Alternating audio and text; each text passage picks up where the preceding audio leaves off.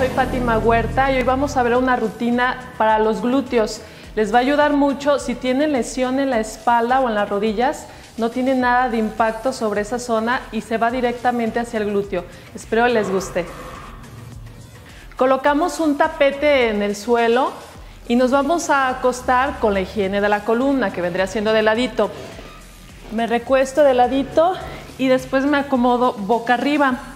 Voy a centrarme bien en lo que es el tapetito, voy a separar las piernas a la altura de la cadera, piso bien, que las plantas de mis pies estén bien pegadas a la cama, los brazos firmes, abriendo bien el pecho. Voy a cerrar primero las costillas y voy a empezar a subir la pelvis hasta que sea el punto más alto de mi cuerpo.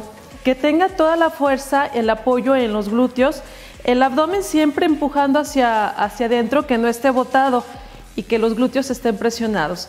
Voy a llevar los brazos hacia arriba, jalando bien los dorsales para que los hombros no se me levanten. Voy a inhalar hacia atrás, exhalo hacia el techo. Inhalo adelante, exhalo hacia arriba. Repito cuatro veces. En la quinta, abro un círculo estirando bien los brazos. Respirando profundo y sigo siempre cerrando las costillas y metiendo el abdomen. Terminando cuatro repeticiones el círculo ahora al revés.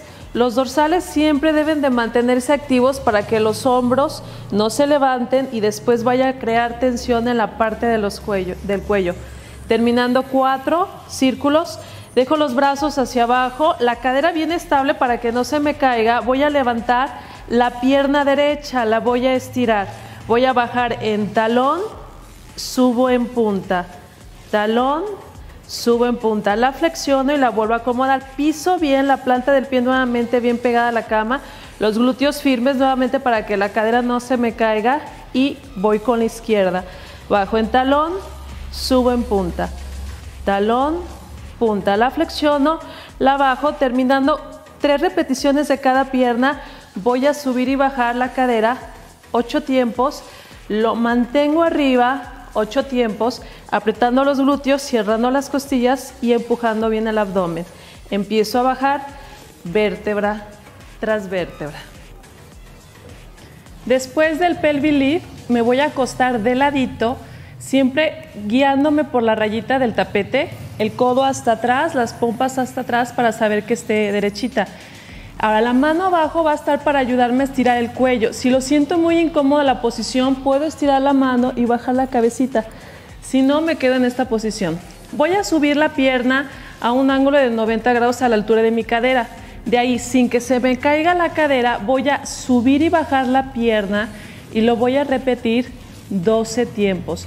Después de 12 tiempos, voy a juntar bien las dos rodillas, el talón levantado voy a levantar la rodilla, estiro al frente, flexiono y vuelvo a regresar. Es levanto, estiro, flexiono y regreso. Igual después de 12 tiempos, junto bien los pies y levanto la pura rodilla sin que se me despeguen los pies. Ahí voy a empezar a crear resistencia en la parte de los abductores. De ahí vuelvo a levantar los dos pies y otra vez arriba y abajo nuevamente 12 tiempos.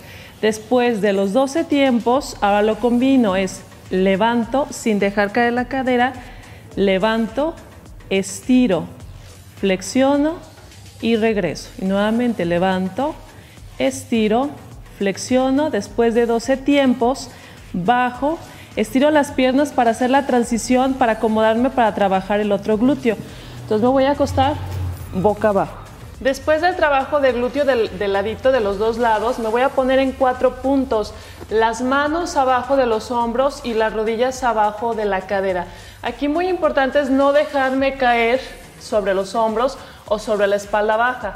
Siempre debo de estar levantadita y empujando bien el abdomen. Sin que se me vaya la cadera nuevamente, que se me descuadre, voy a levantar la pierna derecha. La voy a estirar. Manteniendo el centro bien apretado, voy a estirar y flexionar la pierna.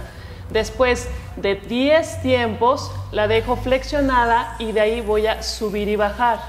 Terminando 10, la estiro y es arriba y abajo. Abdomen bien adentro. Después de 10 tiempos es cruzo en la orillita del tapete y luego subo la pierna hacia el techo. Después igual de 10 tiempos es la pierna flexionada, cruzo y vuelvo a subir. Y nuevamente empujando bien el abdomen, terminando 10 tiempos, la dejo estirada, mantengo el centro apretado, llevo la mano izquierda al, frente tratando de alcanzar la pierna derecha hacia atrás y bajamos. Después de, eh, estar de cuatro eh, puntos, lo que voy a hacer ahora es trabajar más intenso la parte del glúteo y les va a ayudar muchísimo a tener más apertura en la cadera y trabajar los oblicuos. Me pongo ahora hincadito con las rodillas separadas a la altura de los hombros.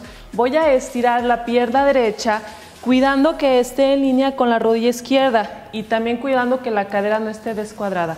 La cadera siempre apuntando al frente. De ahí extiendo los brazos a los lados, voy a bajar la mano izquierda que quede en línea con la rodilla izquierda y el talón derecho. Nuevamente, siempre cuando baje no me dejo hundir. Debo de estar trabajando contra la gravedad. Si la gravedad me empuja para abajo, yo trato de elevar más como hacia arriba. Mano derecha atrás en apoyo, estirando mi cuello, no dejándolo caer. Aprieto fuerte la parte de los oblicuos, glúteo, Mantengo la pierna hacia arriba y voy a dar dos pataditas al frente y luego una atrás. Dos pataditas y hacia atrás. Terminando tres repeticiones, tres circulitos y luego tres hacia atrás. Voy con bicicleta, estiro, flexiono, flexiono, hacia atrás. Estiro, flexiono, flexiono, hacia atrás, terminando tres, al revés, atrás, flexiono, rodilla, estiro hacia atrás, siempre cuidando que la pierna no se me caiga, si no ahí no voy a estar trabajando nada, la pierna lo más arriba que pueda mantenerla. Espero les haya gustado la rutina, la rutina es muy buena para los glúteos, fortalecer la espalda baja y quitar la presión sobre las rodillas.